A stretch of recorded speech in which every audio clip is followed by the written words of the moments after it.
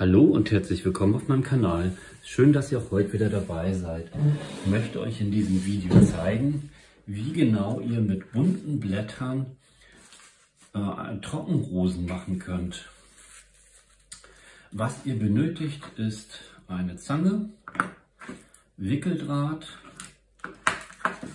dann habe ich hier noch so einen Draht, der ist so längs, ist aus dem Bastelbedarf. Wie der genau heißt, kann ich gar nicht sagen.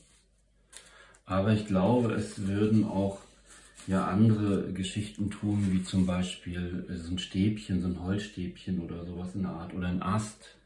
Ähm, es geht letztendlich darum, dass man die Blätter daran befestigt, dass die Blüte nicht einfach nur lose rumliegt. Ne? Und Hauptbestandteil sind diese Blätter.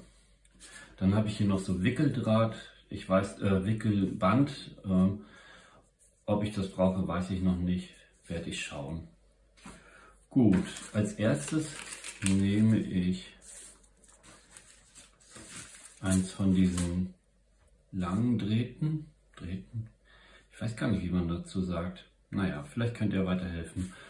Und dann nehme ich ein Blatt, falte das so in, die, in der Mitte und dann beginne ich mit der Spitze das hier dran aufzurollen quasi wie so ein Schneckenhaus rolle ich das jetzt hier. Könnt ihr das gut sehen? So. So sieht es jetzt aus hier. Und damit das Ganze auch fest bleibt, nehme ich jetzt hier diesen Draht. Wickel den hier einmal so drum. So, da ist jetzt auch der Anfang jetzt schon gemacht. Und als nächstes nehme ich dann wieder ein Blatt, falte das jetzt wieder so in, der Mitte, in dieser Mitte durch und dann knicke ich das so um. Könnt ihr das sehen? So nach innen umknicken. Und falte das so rum.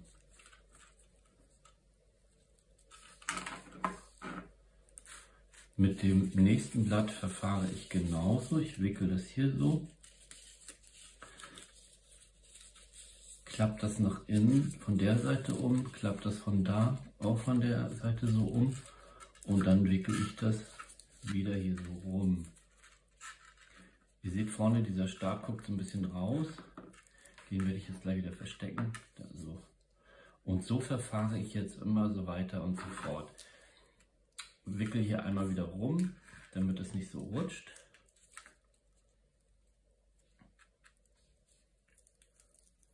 Und dann kommt das nächste Blatt. Wieder falten, umklappen. Wie so ein Hemdkragen im Grunde genommen. Und dann setze ich das hier wieder dran.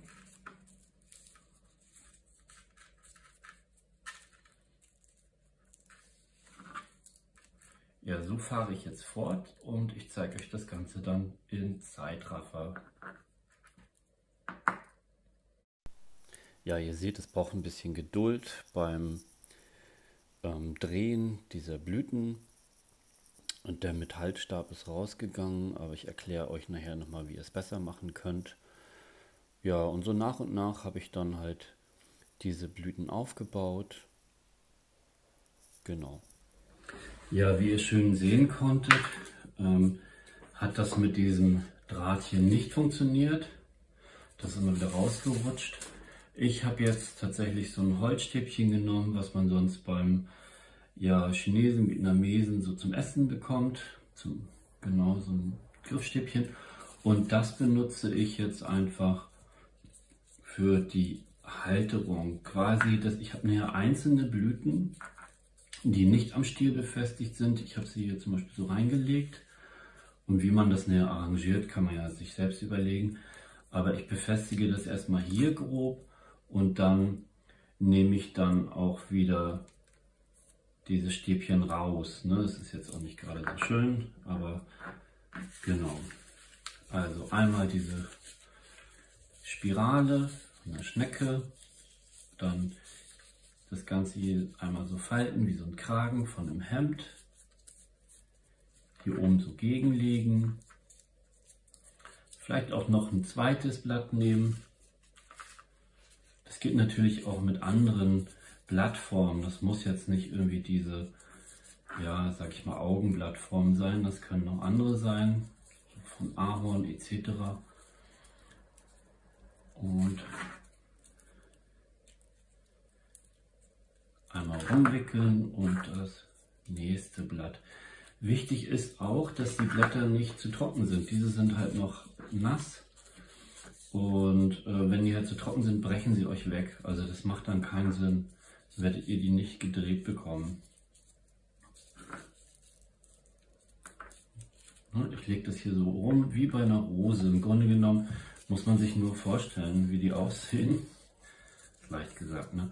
Aber ich falte das hier, wie gesagt, auch immer zu wie so ein Hemdkragen und lege das hier so drum. Überall, wo dann diese Lücke entsteht, kommt wieder so ein Kragen drum und so weiter und so weiter, bis ich dann die ganze Blüte geformt habe. Man braucht da ein bisschen Übung für, aber es lohnt sich. Und ich sage jetzt schon mal vielen Dank fürs Zuschauen. Vielen Spaß beim Nachmachen. Habt einen schönen Herbst.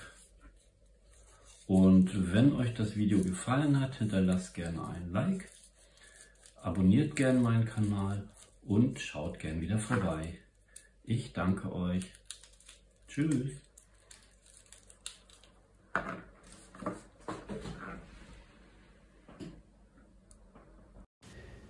Ich habe die Blumen neu arrangiert, heißt sie von dem grünen Blatt genommen, in eine alte Sammeltasse, drapiert quasi mit anderen bunten Blättern, da mit dem Liebesperlenstrauch etc. Und so sieht das Ganze jetzt fertig aus.